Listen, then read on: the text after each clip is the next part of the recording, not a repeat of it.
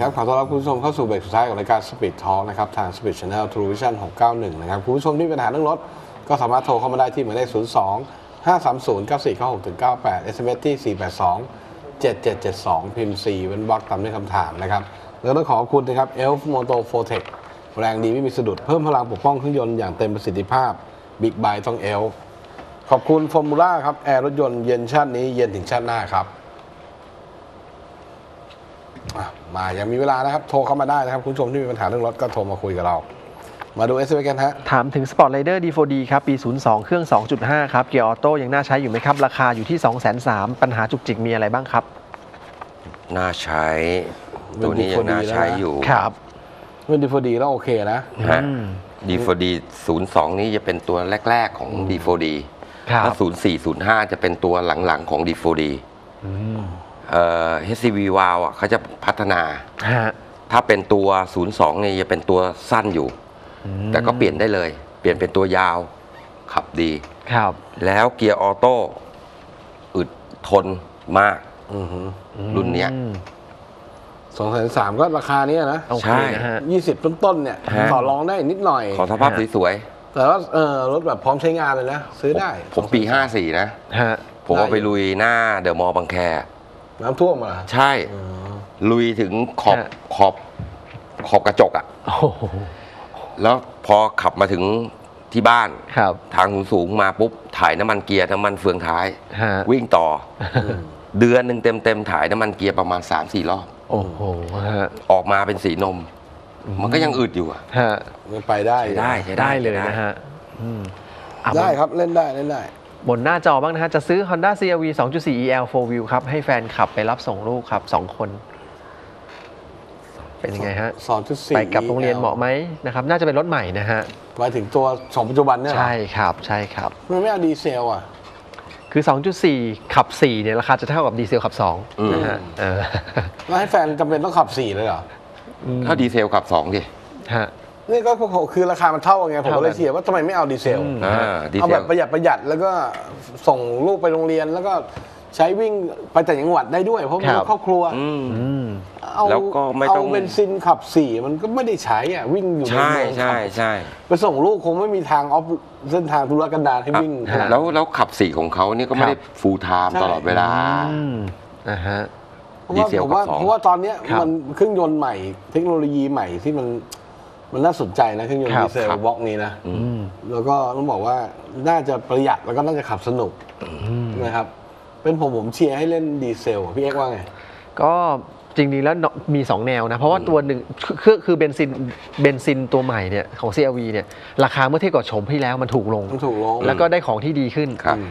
มันก็ถ้าเอาความคุ้มค่าเนี่ยผมว่าเบนซินคุ้มค่า แต่ถ้าน่าใช้เนี่ยต้องดีเซลเลยครับ อืมคันเกียร์ก็ไม่มีอ่าฮะ เป็นอะไรที่แปลกใช่ไหมใหม่มันตามเป็นเทรนด์ สวิตช์น่ะนะฮะ แปลกใหม่ ก็บางคนเลยพอเดี๋ยวพอซื้อไปขับปุ๊บคนขึ้นมา ครับ เอ้า นี่มันตัวเบนซินเนี่ยทำไมไม่เอาดีเซลอ่าก็เสียดายทีหลังอ่าฮะครับผมอะแล้วแต่คนชอบได้ทั้งคู่อะจริง ๆ แล้วฮะนะครับรัรับบสาสายยดีกว่าคุณสุเทพฮะ สวัสดีครับ สวัสดีครับ ครับ สวัสดีท่านพิธีกรทั้งสามครับ ครับ ครับครับ เอ่อก็หมายเรื่องเดียวกันเลยพอดีเลยผมอยากจะสอบถามว่า Honda CRV ที่รุ่นใหม่ที่เป็นเครื่องดีเซล1.6เทอร์โบกับ2.4เนี่ยครับ อันไหนน่าใช้กว่ากันใช้เอ่อวันประมาณ7-80 โล อ๋อ วิ่งเยอะด้วยเจ็ดแปดสิบโล ถ้าเจ็ดแปดสิบโล ผมก็เชียร์ให้ไปดีเซลครับเซลอะ นะดีเซลประหยัด ครับ ดีเซเซลเครื่องเงียบ เครื่องอึดๆด้วยนะขับอย่างเดียวเลยดีเซลดีกว่าครับ เสียงเสียงดังไหมฮะอะไรนะฮะเสียงเงียบฮะเครื่องใหม่ครับ โอ้ไม่มีครับเสียงดังให้มันน่ารำคาญแบบรถพิกอัพแล้ว ดีเซลรุ่นใหม่นี่เงียบกิ๊บครับเอ่อเห็นแล้วกำลังเลยพอกันเลยฮะกำลังเครื่องยนต์ถึงแม้จะเป็นบล็อกเล็กพันหกแต่มีดีเซลมีเทอร์โบเข้ามาช่วย แรงแรงบิดเนี่ยมากกว่าเครื่องเบนซินใช่นะครับใช่ ถึงแม้แรงม้าจะจะน้อยกว่านิดหน่อยนะครับแต่ถ้าเทียบแล้วเอาแรงบิดมาใช้เอาเกียร์เอาเกียร์ที่มาใช้เป็น 9 speed เก้า speed โอ้โหถือว่าขับไม่สนุกเลย ไม่ได้ด้อยกว่าเบนซินครับใช่นะฮะครับผมเชียร์เล่นดีเซลครับ ถ้าซื้อตอนนี้นะ CRV ครับ ครับ มีอะไรแล้วบ้างแล้วจากนั้นเอ่อเกี่ยวกับบอดี้อะไรต่างๆเนี่ยเท่ากันใช่ไหมฮะ เท่ากันเหมือนครับ กันหมดทุกอย่างเหมือนกันหมด ครับ ทุกอย่างเหมือนกันต่างกันที่เครื่องยนต์เบาะแถวสามนี่มีปัญหาอะไรไหมฮะเบาะแถวสามพอนั่งได้ แต่ว่าก็ไม่ได้ถึงกับนั่งสบายนัก แต่ว่าก็นั่งได้อะฮะเพราะว่าพื้นมันตัวสูงขึ้นมา พื้นรถมันสูงขึ้นมาทำให้นั่งแล้วมันเหมือนจะชันเข่าถ้าผู้ใหญ่นิดนึงนั่งอาจจะไม่ไม่เหมาะอ่าแต่ถ้าเป็นเด็กนั่งเนี่ยโอเค ครับ นั่งได้ไม่ได้ถึงขนาดว่าโอ้โหเอาขาลงไม่ได้ ไม่ได้อึดอัดขนาด เพราะว่าเบาะแถวสองมันเลื่อนเดินหน้าได้ ครับครับ ดูง่ายๆดีเซลเบนซินต่างกันยังไง ดูที่คันเกียร์อ่ามีถ้าเป็นตัวดีเซลไม่มีคันเกียร์เป็นเป็นปุ่มกดนะฮะ แล้ว option ต่างๆภายในรถอะอะไรอะไรอยู่อะาเหมือนกันเลยครับ เหมือนกันครับอ๋อฮะแล้วต้องเป็นตัวตัวรุ่นไหนฮะไอ้เจนิเซนก็รุ่น top หรือรุ่นรุ่นไหน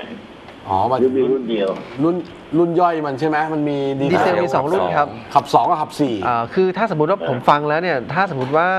ถ้าถ้าถ้างบประมาณไม่ใช่อุปสรรคนะครับ รุ่น top ไปเลยนะฮะ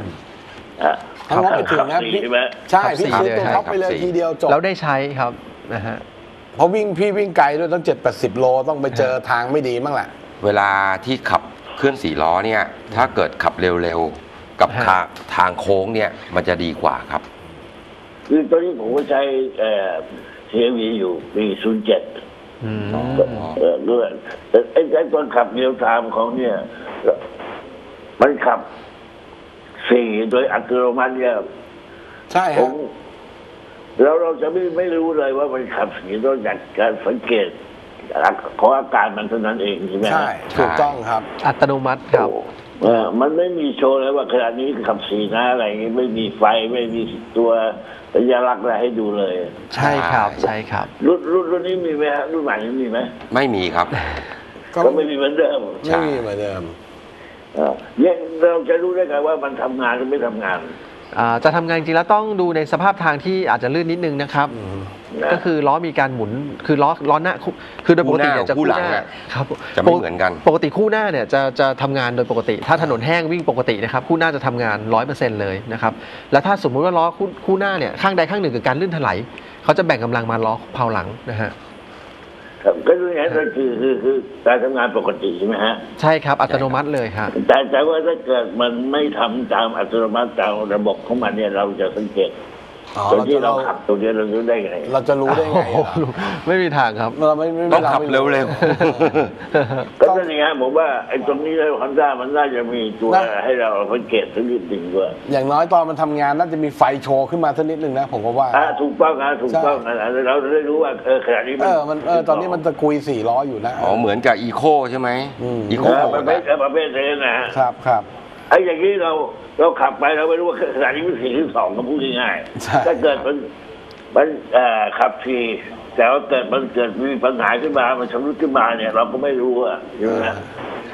ไอ้ถ้าเกิดมันชำรุดเนี่ยผมว่าอาจจะมีไฟโชว์หน้าปัด อาจจะมีไฟอะไรขึ้นบอกว่าไฟเอนจุ้ง ตัว CLV อะมีไหมถ้าเป็นขับสี่เนี่ยนะฮะ ผมไม่ค่อยเจอปัญหานอกจากว่าเผากลางมันหอน เฟืองสโลว์ที่มันต่อกับเกียร์เนี่ย ชุดนี้มันเสีย แต่ไม่เคยเจอนะ น้อยมาก CLV ตั้งแต่เจน1เจน2เจน3เจน4ไม่เคยเจอ ไม่น่ามีปัญหาอะไรหรอกพี่ ครับครับไอ้ไอ้ผมเข้าใจว่าผมก็ยังใช้อยู่มาครับแปดปีแล้วเนี่ยอืมครับผก็มไม่มีปัญหาแต่ก็เรามาคิดถึงเรื่องใช่ขมัอนงน่าจะบอกเราหน่อยนึงผมเข้าใจพี่พูดเออหรือในการให้เราได้มีการสังเกตสบายให้รู้ใจคิดว่า อ่าฮะ โอเคครับครับขอบคุณคครัรับบผมได้ครับยินดีครับครับครับครับครับอะต่ออีกนิดนึงตอนนี้กำลังฮอตนะฮะเขาบอกกังวลว่า CRV ตัวดีเซลขับ 2 กับเบนซินขับ2เนี่ยจะโดนตัดออปชั่นแน่นอนว่า option มันน้อยกว่าตัวขับ 4 อยู่แล้วนะครับครับอ่าตามแคตตาล็อกเลยฮะฮะ ตามราคาด้วย อย่างที่เห็นแล้วว่าราคามันก็ต่างกันต้องเยอะใช่นะก็ต้องมีตัด option เราไปบ้างฮะนะครับครับอะโอ้โหวันนี้หมดเวลาแล้วนะครับ เราทั้ง 3 คนครัลาบไปก่อนพบกับฮะพวกเราได้ใหม่กับรายการ Speed Talk ครับ รายการสดครับทุกวันจันทร์ถึงวันศุกร์ครับ วันนี้นอนหลับฝันดีราตรีสวัสดิ์สวัสดีครับ